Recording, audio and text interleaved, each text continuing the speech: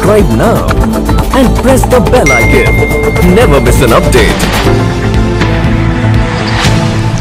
मेरा नाम तारा है।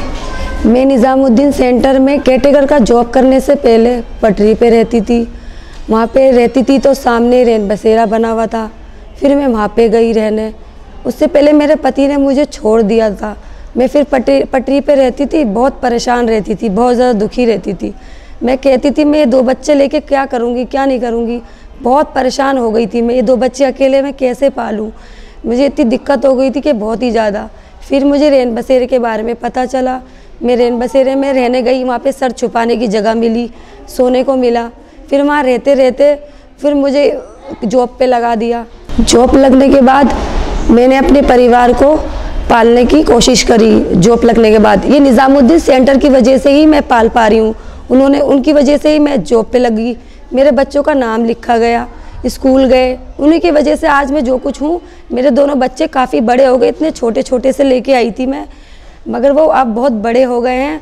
पर अब तो इतना पढ़ते हैं मतलब अच्छे से पढ़ते हैं। क्लास में जाते हैं, अच्छे से साफ़ सुथरा होके जाते हैं।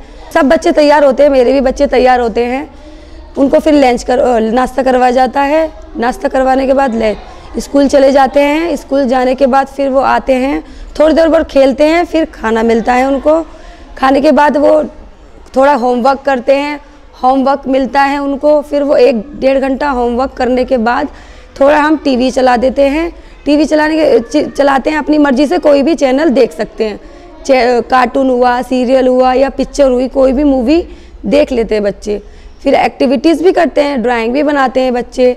यहाँ पे बच्चों को नहाने को भी मिलता है, ब्रश भी मिलता है, कोलगेट भी मिलता है, साबुन भी मिलता है, तेल भी मिलता है, नहाने को गर्म पानी भी मिलता है फ़िल्टर हो के पानी गर्म पीने वाला भी मिलता है।